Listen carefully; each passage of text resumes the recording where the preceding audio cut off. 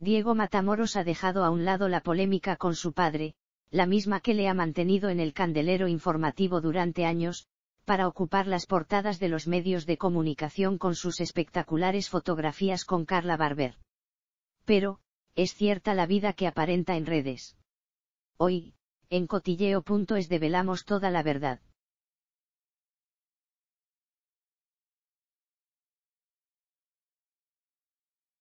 Una separación que le busca la ruina.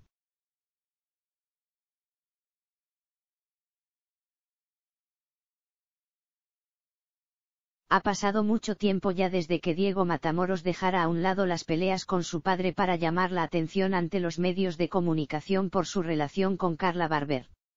La doctora llegó a sus vidas cuando éste se separó públicamente de Estela Grande, un divorcio que aún está en trámites y que ha hecho la cuarentena más amena a los miles de telespectadores de Telecinco.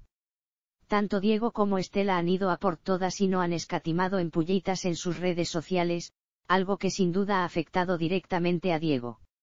El hijo de Kiko Matamoros ha pasado del cielo al infierno en cuestión de días. ¿Quieres saber qué le pasa? Te lo contamos todo, a continuación.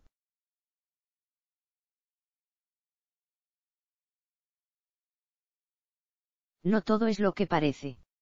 Es la primera frase que nos deberían decir cuando nos creamos una cuenta en cualquiera de las redes sociales que están hoy en día en plena efervescencia.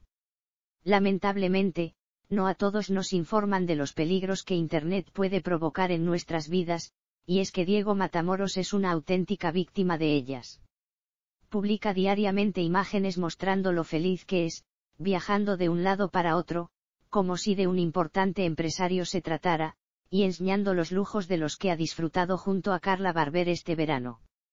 Pero, ¿es real esta vida? ¿De dónde consigue estos lujos?